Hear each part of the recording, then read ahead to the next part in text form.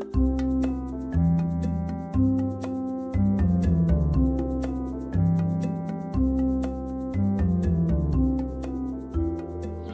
name is uh, Glenn Thompson.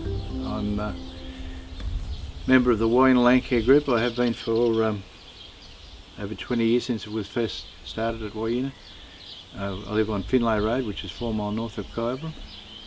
Um, we farm here um, lucerne hay, wheat and, wheat and canola, and a few agistment cattle, dairy cattle. And um, my aim was to try and build the ground up by using a bit more um, organic matter. So that's why we've uh, used the um, compost for trial. And um, yeah it's, it's, it is successful to a point. Um, your costs and that you, have got to be aware of for your return. Yeah, I received a Beyond Soil Care grant.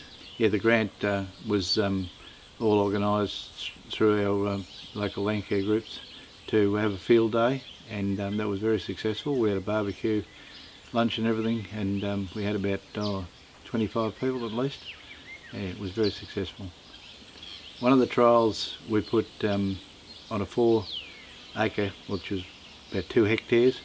Um, we put two semi-loads, which was probably about 20 tonne, uh, 20 tonne loads, so 40 tonne on on um, on two hectares. So have that, and um, yeah, it certainly certainly made the ground softer, and, and you could see where it went. That's for sure. It was it went on fairly thick. The, the the idea was is to try and build the ground up, make the ground lighter. Um, uh, more organic because it was very fairly clayey bit of bits of ground. As after we um, after we lased it, we shifted a lot of dirt and um, and there was a bit of clay mixed in with the soil, with the topsoil, and um, it certainly did improve the soil. No, it, it, it was successful to, to a degree as far as, but the only issue that I have with it is the difference between whether it's worthwhile as far as the costing side of it, the transport and, and whether you need to buy it, how much you're buying, how much you're paying for it, um, how your um, uh, your cost of spreading it. You've got not only the freight, you've got the cost of spreading it as well. So all those all those things, yeah.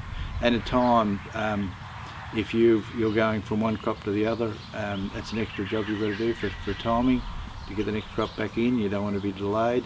Um, if you can, if it's available um, at the at the depot where you can get it, pick it up. All those sort of things have got to be correspond with timing. Uh, the green waste that we got was from Shepparton, and it was um, uh, mostly garden clippings and that type of thing, rose clippings. And, yeah, that was done with the, with the pressure cooker that they have over there, where they they, they uh, put into a container and and heat it and, and um, it's a quicker way of composting it. Um, I like the idea of the, uh, the chicken manure.